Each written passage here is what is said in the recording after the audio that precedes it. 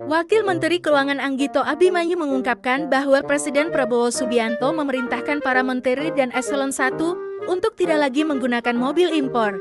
Adapun saat ini, para menteri dan Anggito sendiri menggunakan mobil Toyota Alphard. Sebagai gantinya, para menteri wakil menteri dan eselon 1 akan menggunakan mobil buatan Pindad dalam kegiatan sehari-harinya sebagai pejabat negara. Anggito menjelaskan bahwa perancang Maung Pindad Sigit Santosa memastikan bahwa produk tersebut 70% buatan Indonesia.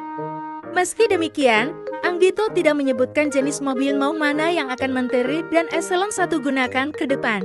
Sebagaimana diketahui, PT Pindad memperkenalkan kendaraan terbaru produksi industri pertahanan dalam negeri, yakni MV3 Garuda Limousine yang digunakan oleh Prabowo Subianto dan Gibran Rakabuming Raka pada pelantikan 20 Oktober tahun 2024 lalu. Sebab, Prabowo mendorong kemandirian industri nasional di bidang otomotif sebagai upaya maksimal dalam mewujudkan pengembangan kendaraan taktis militer dan kendaraan sipil secara utuh, mulai dari desain konsep sampai produksi massal.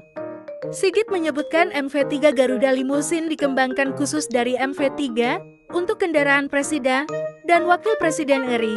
Kendaraan berwarna putih ini memiliki tampilan eksklusif dan maskulin, serta memiliki fitur-fitur mutakhir. Berbeda dengan model sebelumnya, PT Pindad berencana memproduksi massal Maung MV3 yang sebelumnya dipakai oleh Paus Franciscus, di mana PT Pindad memiliki kontrak pengadaan 5.000 unit Maung MV3.